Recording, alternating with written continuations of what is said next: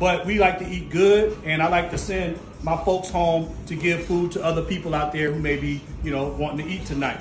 Um, but this is what we got, some fried shrimp, some uh, hamburger steaks. My theme today was, uh, you know, OJ's, Original Joe's, one of our, one of our, me and my wife favorite restaurants. A little bit of um, asparagus, some steak fries.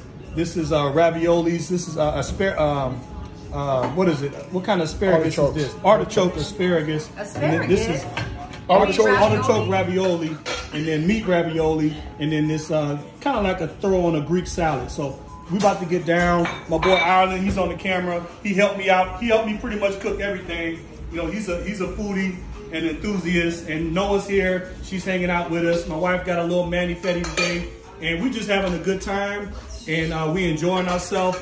And uh, I hope that wherever you at, you enjoying yourself, enjoying your family, and being safe. You know, we safe uh, as as we can be. You know, but we still gonna gather just a little bit and keep this thing going. So God bless y'all, and I'll be at you soon. Like like the video, uh, like my pictures. Go to my Instagram and go to my website, Lovett Catering.